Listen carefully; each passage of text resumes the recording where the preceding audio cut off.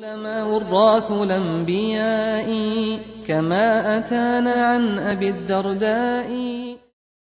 متن الشاطبية المسمى حرز الأماني ووجه التهاني في القراءات السبع.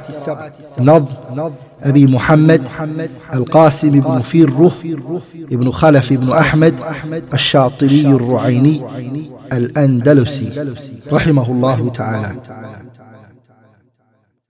بسم الله الرحمن الرحيم.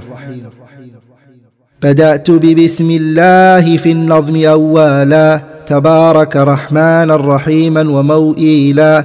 وثنيت صلى الله ربي على الرضا. محمد المهدى إلى الناس مرسالا.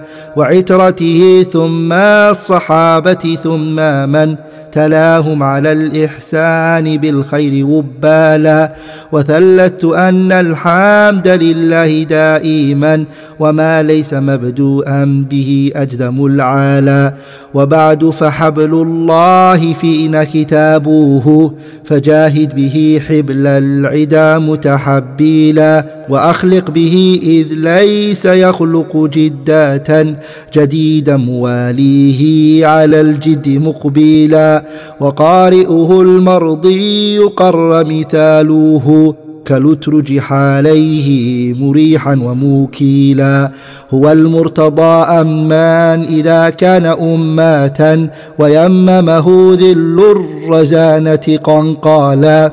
هو الحر إن كان الحري حواريا له بتحريه إلى أن تنبالا. وإن كتاب الله أوثق شافيع وأغنى غناء واهبا متفضيلا وخير جليس لا يمل حديثه وتردده يزداد فيه تجملا وحيث الفتى يرتاع في ظلماته من القبر يلقاه سنا متهليلا هنالك يهنيه مقيلا وروضة ومن أجله في ذروة العز يجتالى. يناشد في إرضائه لحبيبه وأجدر به سؤلا إليه موصلا فيا أيها القاري به متمسكا مجلا له في كل حال مبجلا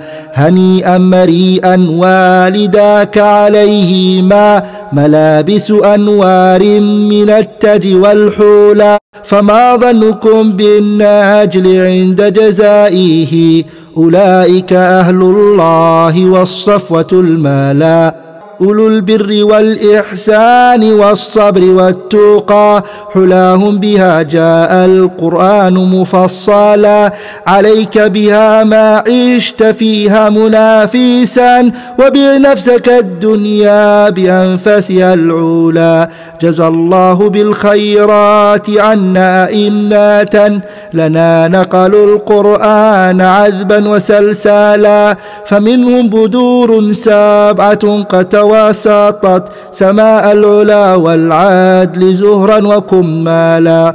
لها شهب عنها استنارت فنورت سواد الدجى حتى تفرق وانجالا. وسوف تراهم واحدا بعد واحد مع اثنين من أصحابه متمثيلا. تخيرهم نقادهم كل باريع وليس على قرآنه متأكلا. فأما الكريم السر في الطب نافع فذاك الذي اختار المدينة منزلا. وقالوا عيسى ثم عثمان وارشوهم بصحبته المجد الرفيعة الثالا.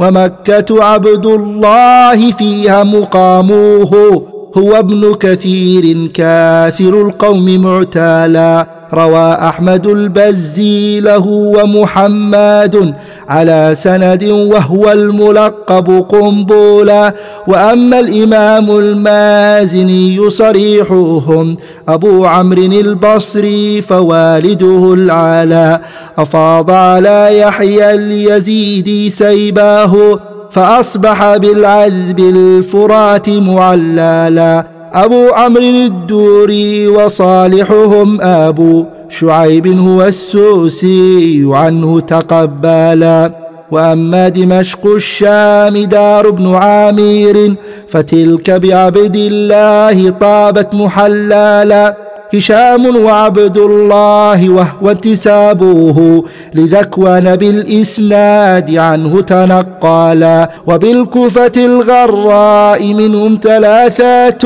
أذاعوا فقد ضاعت شدا وقرنفولا فأما أبو بكر وعاصم اسمه فشعبة راويه المبرز أفضالا وذاك ابن عياش أبو بكر الرضا. وحفص وبالإتقان كان مفضلا وحمزة ما أزكاه من متورع إماما صبورا للقرآن مرتلا روى خلف عنه وخلد الذي رواه سليم متقنا ومحصلا.